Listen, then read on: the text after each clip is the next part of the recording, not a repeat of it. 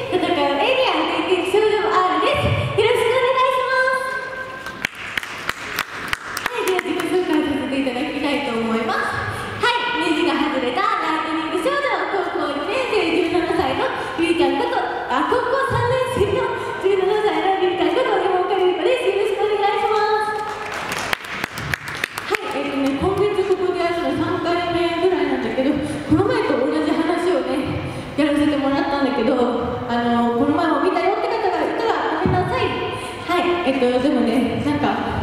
1回目はちょっともう何が何だかわからない感じだと思うんで2回ぐらい見ていただくとやっとストーリーが分かるかなって思うのでまたね興味ある方はライブ見に来てくれたら嬉しいです。よろしくお願いします。はい。そしてそしてこの後はすぐあっちのね後ろの方で並行物販があります。って言ってもねなかなか来てくれない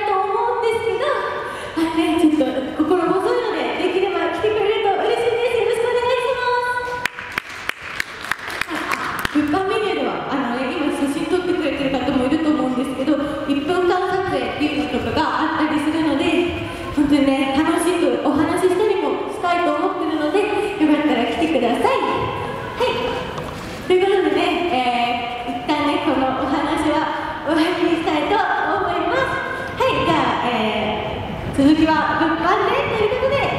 以上、私たち戦うエリア